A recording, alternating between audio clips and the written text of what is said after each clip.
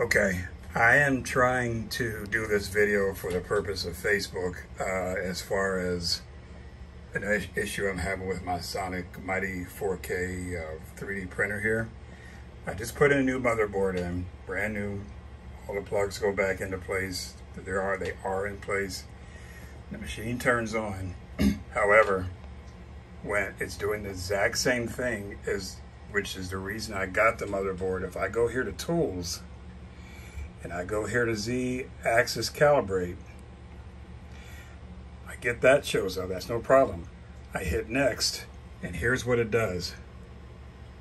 Hit next here, trying to hold the camera here, hit next.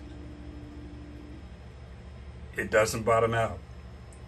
Can somebody explain why it doesn't do that? Now if I hit done, hit done here, I'm gonna have to get set because it'll keep going all the way back up to the top and make a grinding sound.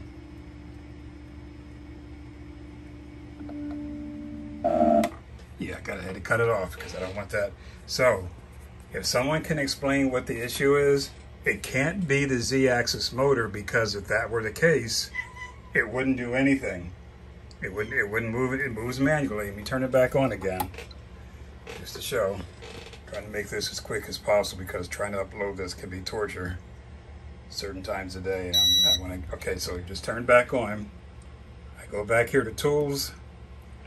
If I go to manual, and let's uh, let's hit this twice. Well, let's hit that twice. The down arrow.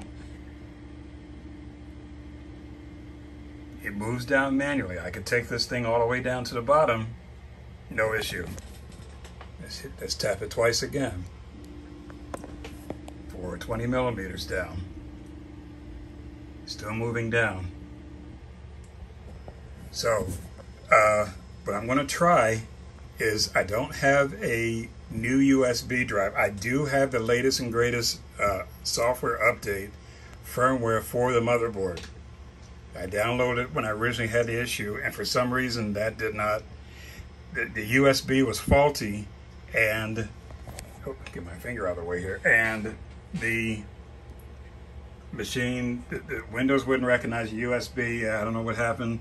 I went to go plug it in, and that's when things went south.